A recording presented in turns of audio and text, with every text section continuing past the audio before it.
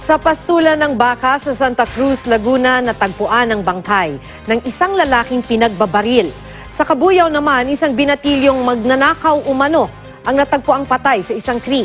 Makibalita tayo kay Susan Enriquez. Nakabalot ng itim na garbage plastic bag na binalutan pa ng sako at may taga sa ulo. Sa ganyang kalagayan natagpuan ang bangkay ng isang lalaking 16 anyo sa isang creek sa barangay Marinig, Kabuyaw, Laguna. Ayon sa Kabuyaw Police, kilalang magnanakaw umano sa lugar ang binatilyo. Inaalam pa ng mga pulis ang motibo sa krimen.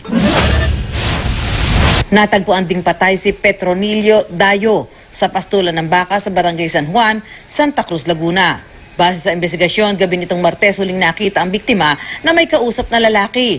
Malapit kung saan natagpuan ang kanyang labi. Matapos nito, nakarinig ng dalawang putok ng baril ang mga residente. May isang saksing nakakilala sa huling nakausap ng biktima. Pinaghahanap na ng mga pulis ang naturang lalaki.